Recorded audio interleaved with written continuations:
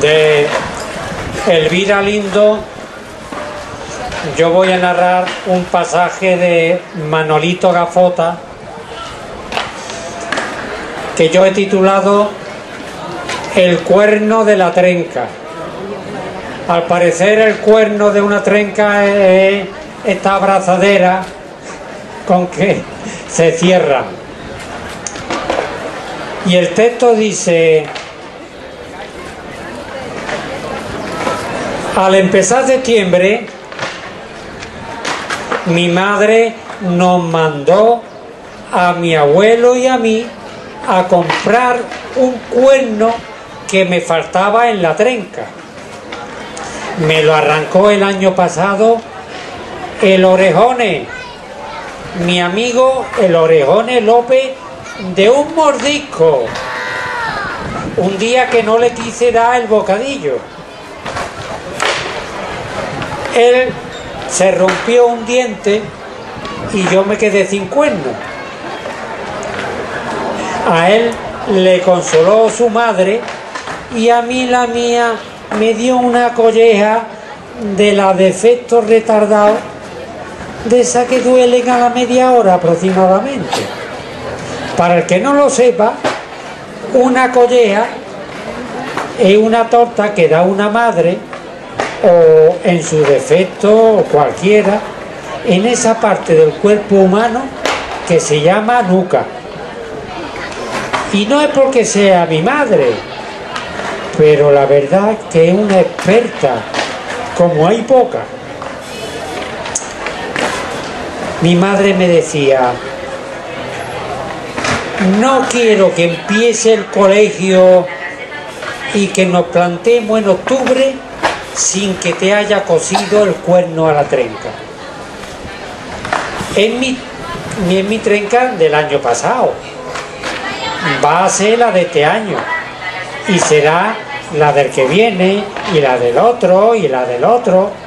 Porque mi madre dice que los niños crecen mucho y hay que comprarles las trencas con vista al futuro.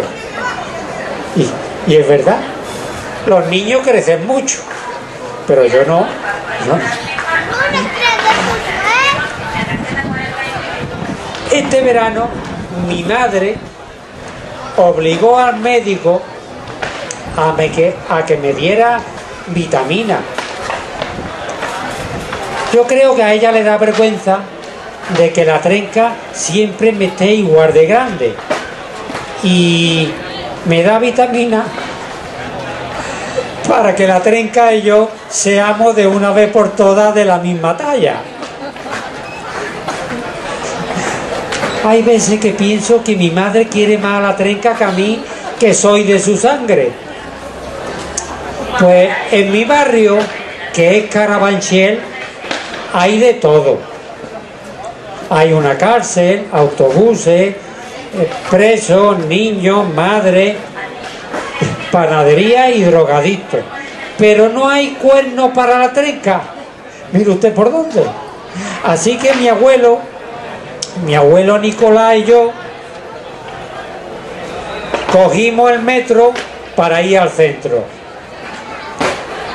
Tenemos mucha suerte en el metro, porque aunque vaya muy lleno, mi abuelo y yo juntos damos mucha pena y siempre nos dejan el sitio. Mi abuelo da pena porque es viejo y está de la próstata. La próstata no se le ve, pero se le ve que es viejo. Y a lo mejor yo doy pena porque llevo gafas, pero no se lo puedo asegurar. Cuando la gente nos deja en el sitio, nos vemos en la obligación de poner cara de pobre desgraciado. Porque claro, por ejemplo, si te dejan el sitio, va y te sienta y te parte de risa inmediatamente, la gente se mosquea. Así que mi abuelo y yo siempre entramos en el metro como hecho polvo. Y siempre nos da resultado. Pruébalo. Pero tampoco se lo vaya contando todo el mundo. A ver si al final se corre la voz y se nos acaba el chollo. En fin, cuando tuvimos el cuerno en nuestro poder, en una tienda que hay en la Puerta del Sol, donde van todas las madres del mundo mundial a comprar botones, cremallera y cuerno para la trenca, mi abuelo dijo, eh, pues ya hemos cumplido con nuestras obligaciones, ahora vamos a darnos un garbeo con la Gran Vía. Y yo le dije, vale, ¿cómo mola, abuelito querido? Bueno, lo de abuelito querido no se lo dije, porque si le llego a decir abuelito querido a mi abuelo, me manda de suma urgencia a que me dé un electrochoc. Pues sí, fuimos a la Gran Vía. ¿Y qué te crees que vimos? ¿Qué te crees que vimos? Nadie lo sabe. Una manifestación. Una manifestación. En mi barrio hay manifestaciones, pero no son tan bonitas como las que dan en la Gran Vía. Mi abuelo dijo, vamos a quedarnos de bulto. A lo que se manifestaba le debió parecer muy bien porque no nos echaron ni nada. Y mi abuelo le pidió a un señor que me, que me subiera a hombro para que pudiera ver al que estaba echando el mitin. Y cuando estaba encima del tío, me di cuenta que tenía capa. Y se la empecé a limpiar un poquillo. Yo le dije, le dije al tío, que por qué no se compraba un champú que anuncian en la tele que te quita la capa y te consigue una novia como te descuide. En fin, el tío me soltó en el suelo como mosqueado.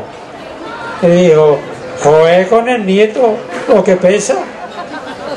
El tío asqueroso me metió durante un rato el complejo de gordo. Y yo es que cada poco tengo un complejo. Lo he tenido de bajo, de gordo, de gafota, de pasota. En fin, mi abuelo ni se enteró de lo del tío Camposo. Se había puesto a protestar por su pensión, que es lo que hace cada vez que se encuentra con más de dos personas.